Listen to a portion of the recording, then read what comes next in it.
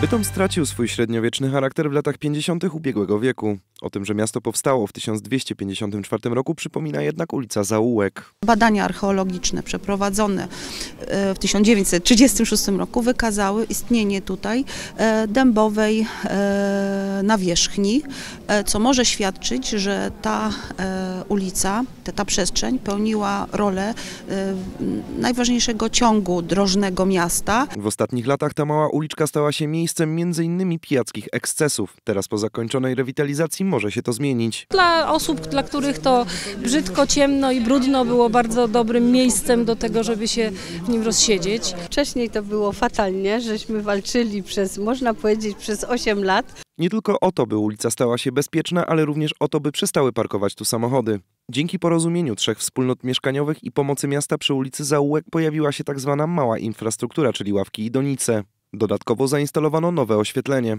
Uporządkowano również pojemniki na odpady.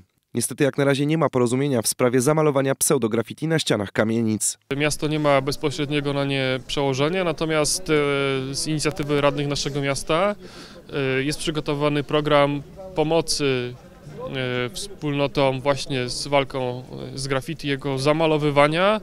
E, Zachęcamy też oczywiście wspólnoty do montażu monitoringu. Ulica Zaułek będzie teraz otwarta zarówno od strony rynku, jak i centrum handlowego Agora. W przyszłości mogą się tu nawet pojawić kawiarnie. Chcieliśmy stworzyć taką przestrzeń, która będzie służyła nie tylko mieszkańcom, którzy tu mieszkają, ale będzie takim mm, przyjemnym miejscem, gdzie można, można przyjść, siąść, odpocząć w ciszy, bo tutaj zaułek jest takim miejscem bardzo urokliwym, cichym.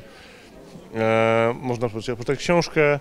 Chcielibyśmy, żeby te gabloty, które też stanowią element e, e, tego zagospodarowania, były też żywe, Na razie miasto nie ma pomysłu na to, gdzie dokładnie mają parkować mieszkańcy, którzy stracili taką możliwość przy ulicy Zaułek. Inwestycja kosztowała 1 300 tysięcy złotych.